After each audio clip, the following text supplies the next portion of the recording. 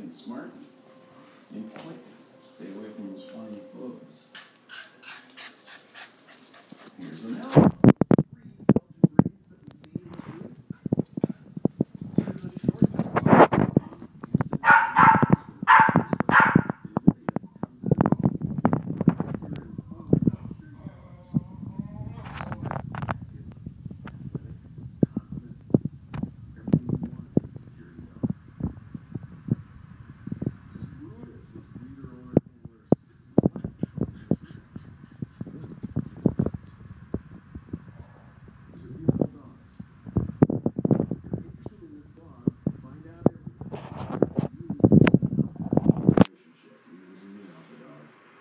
One of the great things about dog shows or watching us on TV or coming in person, you get to hear all these things from the people who are here at the show. Do your homework. Go to akc.org and learn about the different breeds. See the Malinois. Here's the Briard.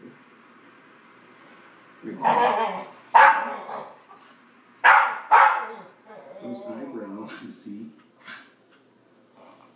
And hook in the tail called the crochet.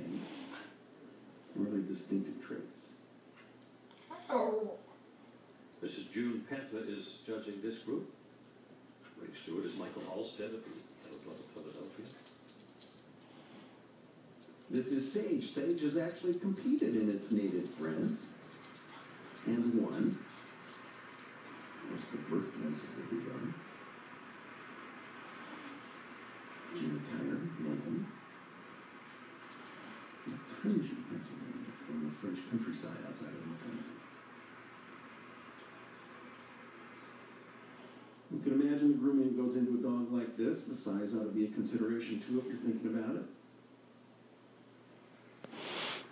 Very dogs. Very smart, can be a little stubborn. Be ready for those challenges. Here's the rough collie, the one with the hair. You've ever watched a, a herding dog in action, I was down in Australia watching one of the sheepdogs work there, and it's really amazing to see the their ability not only to run